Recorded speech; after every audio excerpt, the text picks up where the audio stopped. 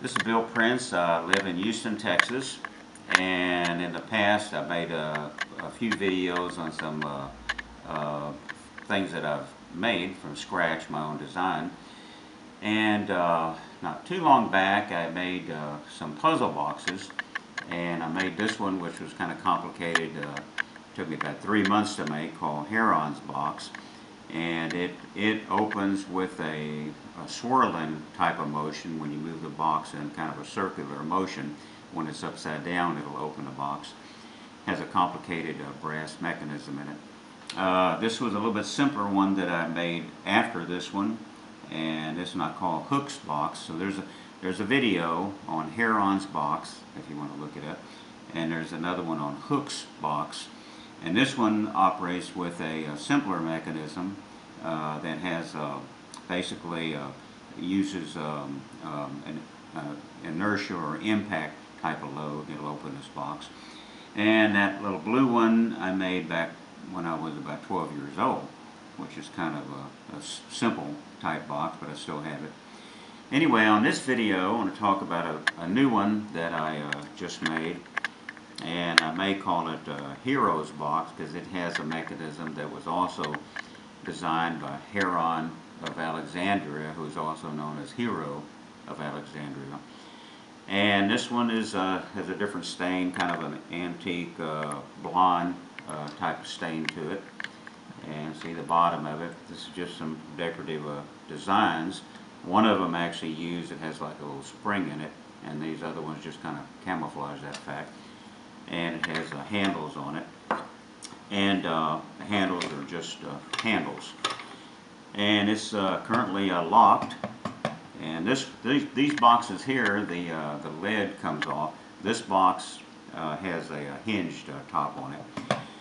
And anyway, so what I like about, um, as far as I know, there's not another box that was um, anywhere that has ever been made uh, to operate like this one does. Same with this one here and the same with, with that one. These are all unique. And this box is uh, also uh, rather simple if you know how to get into it. There's a lot of puzzle boxes that are extremely complex and how many moves you have to do to get into the box. And, um, and so it, it's impossible to get into the box if you don't know how. And even if you know how, it's next to impossible. And uh, those, I'm just not interested in that type of uh, an apparatus. Uh, this one, you know, all of these boxes are next to impossible to get into if you don't know how, but if you know how, it's very, very easy, very simple to get into the box. And so this one here, I'll show you how it, how it works. These little caps on here come off, and they're actually little pivot for the handle, but they're also little, little tubes. And so this one to open the box, you blow into it a couple times. And the box opens. And if you notice, there's a, a fan in it. And uh, that uh, fan uh, is free moving, very free moving, made out of aluminum, so it doesn't have too much uh, inertia once it gets spinning up and it has an all-thread rod. It's, it's, loose in here. There's no friction. And it has a little uh, latch. It's made out of aluminum, so it's light, easy to move, and a small all-thread rod. And so when uh, the, um, I'll show you here, to lock it, you blow into the other hole, and you'll see it uh, move as I, as I blow into it.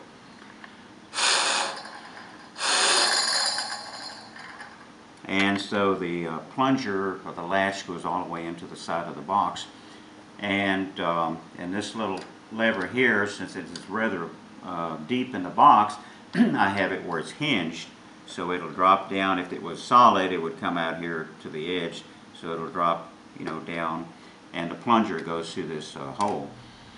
And if you notice, the um, uh, there's a little spring on here and there needs to be a spring on when you when you release it and when you set set it as locked.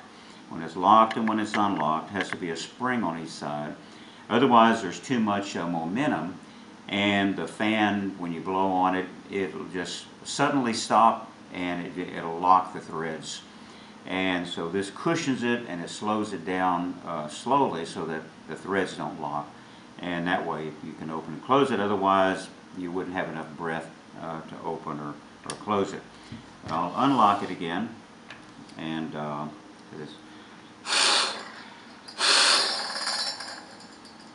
and it's all the way back. We close it, and then it's locked by this side.